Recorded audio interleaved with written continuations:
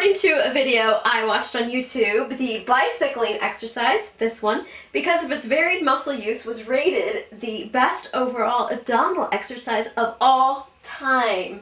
All time. Thank you.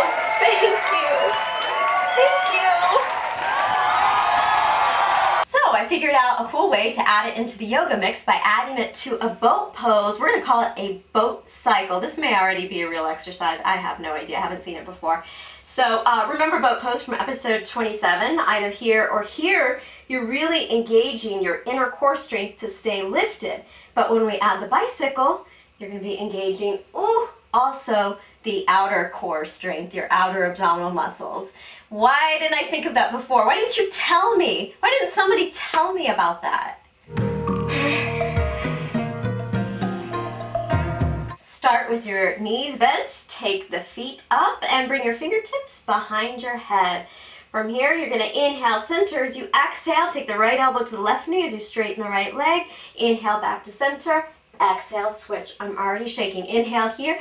Exhale, switch. Make sure you take that break in the middle. Coming back to center, engaging your lower abdominal strength to stay balanced. You can start with a set of 10.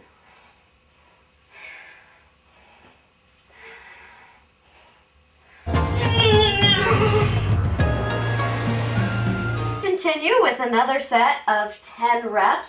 To make it more challenging now, if you want, you can widen your boat and see that it's harder to balance. I'm totally, totally shaking here. And just continue. Take your time. Go slow and enjoy that hotness. After you're done, sit up tall, bring your heels close to your sits bones, wrap your arms around your shins, and bring your navel forward here, stretching your back.